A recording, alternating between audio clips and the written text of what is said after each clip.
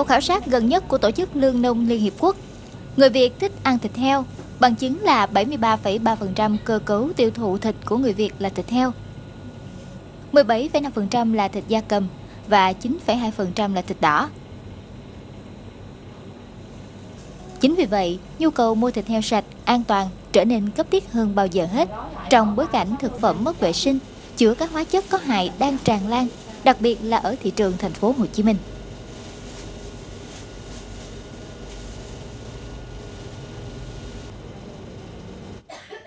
Trong bối cảnh thịt bẩn, thịt kém chất lượng khó kiểm soát, gây nhức nhối dư luận, người Việt ngày càng quan tâm nhiều hơn đến chất lượng sản phẩm. Đối với những người có thu nhập cao, họ sẵn sàng chấp nhận chi trả nhiều hơn để đảm bảo mua được các loại thịt có chất lượng cao và quan trọng nhất là sạch.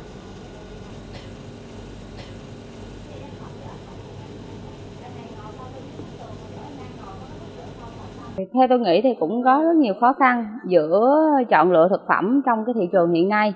Nhất là cái thực phẩm mà hiện tại thì quan tâm tới là nếu mà có nguồn gốc rõ ràng, được chăn nuôi, được kiểm soát là ra một cái sản phẩm mà để ờ, một người nội trợ như tôi mua về cho cái nấu cho bữa cơm gia đình đó, nó tốt để cho những người thân ở trong gia đình nó yên cái sức khỏe của người thân gia đình được yên tâm hơn.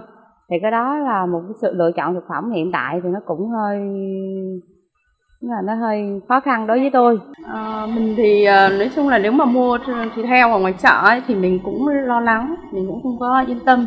Nên cho nên mình vẫn hay chọn vào những cái cửa hàng thực phẩm mà có thương hiệu mình mua.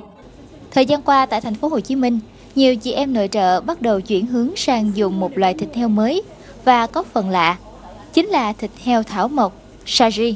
Loại thịt heo này được nuôi với nguồn thức ăn là chế phẩm Herbot, được bào chế từ hơn 140 loại thảo dược tự nhiên như hương thảo, đinh lăng, oải hương, húng quế.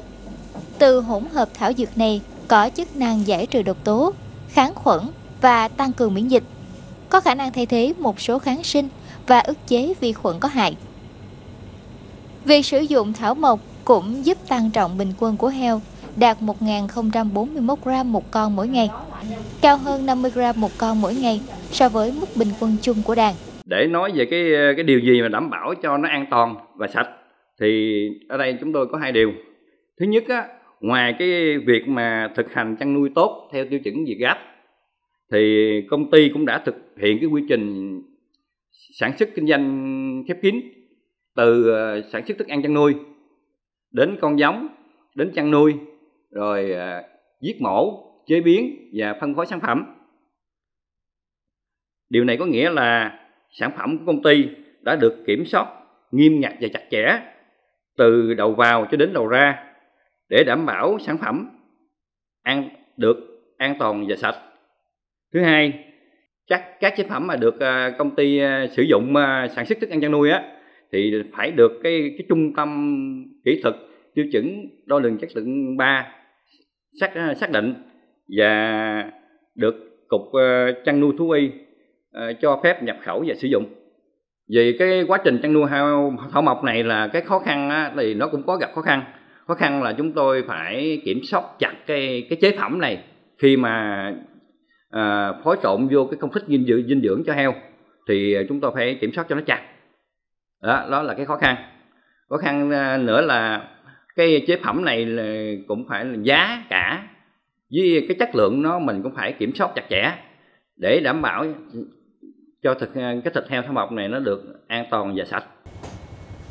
Theo các giảng viên chuyên ngành khoa chăn nuôi thú y, khoa công nghệ thực phẩm trường Đại học Nông lâm Thành phố Hồ Chí Minh, Heo được chăn nuôi từ chế phẩm thảo dược giúp nâng cao chức năng miễn dịch của heo. Heo có sức đề kháng tốt mà không cần sử dụng kháng sinh. Do đó, thịt hoàn toàn không có chứa kháng sinh. Ngoài ra, thịt sau khi giết mổ có độ đàn hồi tốt và màu sắc đỏ tươi hơn, bắt mắt hơn.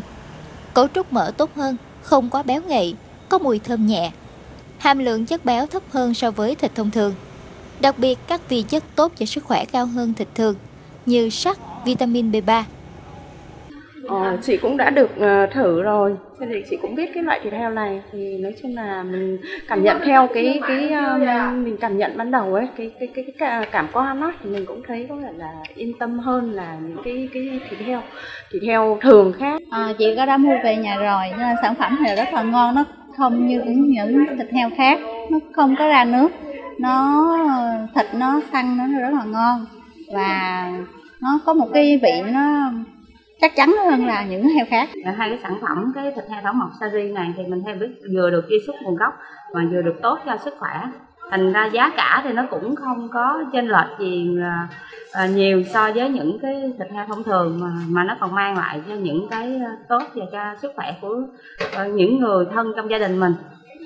Mình cảm thấy rất yên tâm. Trước thị trường hiện nay thì mình sẽ chọn lựa cho gia đình mình là những thực phẩm sạch, có nguồn gốc xuất xứ rõ ràng, à, có thể ờ, kiểm tra được ờ, nguồn gốc của nó ngay trên điện thoại của mình.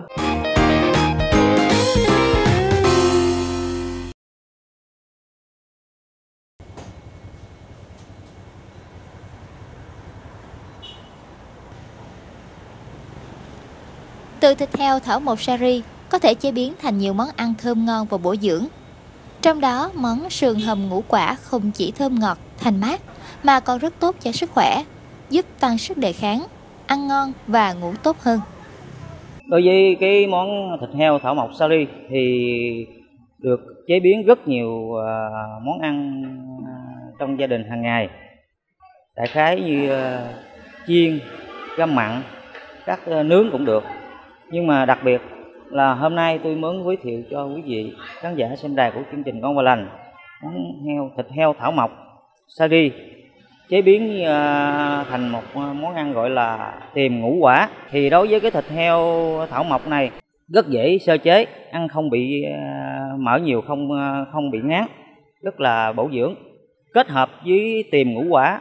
Tiềm ngũ quả gồm có những củ củ quả này kia kết hợp hòa quyện với nhau, tạo nên một cái màu sắc rất là hài hòa và bắt mắt cho người tiêu dùng.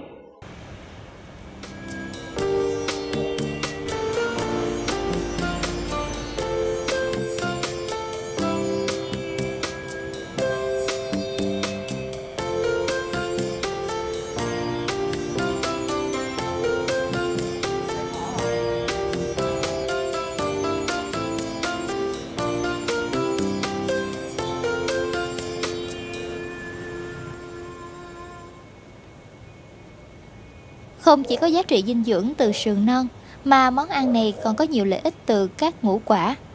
Trong đó, bắp giúp cho hệ tiêu hóa khỏe mạnh. Lý do là bắp ngô giàu chất xơ không hòa tan. Chất xơ này cũng hỗ trợ sự phát triển của vi khuẩn có lợi cho ruột da. Và đổi lại, vi khuẩn giúp biến chất xơ thành chuỗi axit béo ngắn. Chuỗi axit béo ngắn có thể cung cấp năng lượng cho các tế bào ruột, từ đó làm giảm nguy cơ mắc các vấn đề ở ruột bao gồm cả ung thư ruột kết. Ăn một trái bắp cũng có thể cung cấp được 19% lượng vitamin B mỗi ngày. Với cà rốt là một loại rau củ ngon và rất bổ dưỡng. Với một nguồn gốc đặc biệt tốt của beta carotene, chất xơ, vitamin K, kali và các chất chống oxy hóa. Cà rốt có một số lợi ích sức khỏe là một thực phẩm thân thiện để giảm cân, tạo ra mức cholesterol thấp và cải thiện sức khỏe của mắt.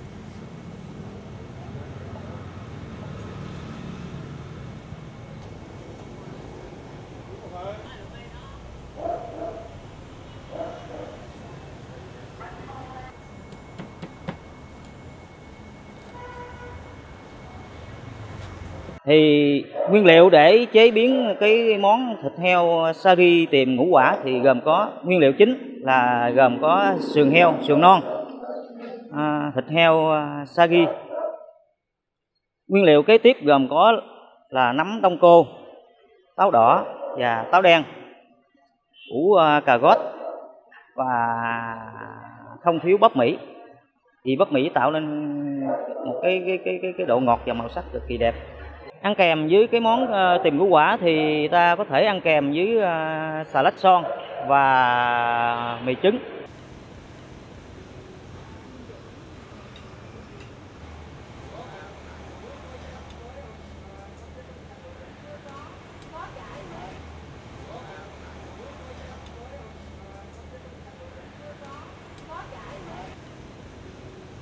Ở nhiều nước châu Á, nấm đông cua tượng trưng cho sự trường thọ.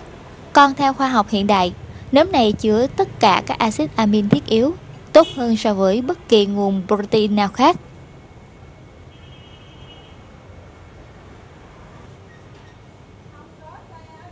Nấm đông cô được sử dụng trong đời sống của người châu Á hàng nghìn năm để giảm viêm, cải thiện sức sống và tăng độ đàn hồi của da. Axit kojic chiết xuất từ nấm đông cô có mặt trong nhiều sản phẩm chăm sóc da. Thành phần này thay thế chất hydroquinone, giúp tẩy trắng da, làm mờ dần các vết sẹo thâm và đốm đồi môi.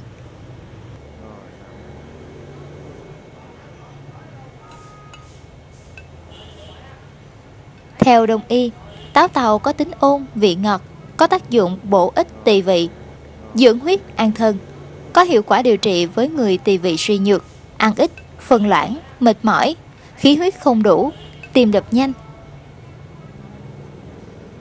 Táo đỏ khô có khả năng giúp tăng hệ miễn dịch chống dị ứng, chữa bệnh về huyết áp, bổ gan, ngăn ngừa ung thư và có thể làm đẹp da.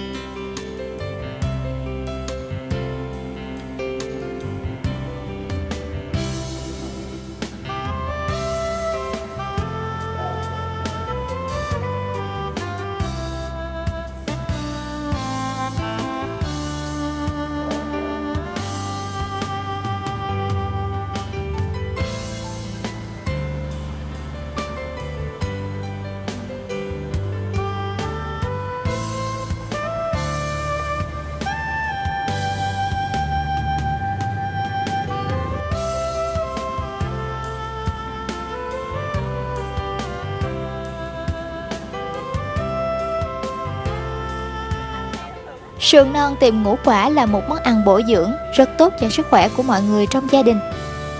Vị đậm đà của sườn kết hợp với vị ngọt thanh của cà rốt, bắp, táo đỏ tạo ra một món hầm có hương vị thơm ngon để mê hoặc.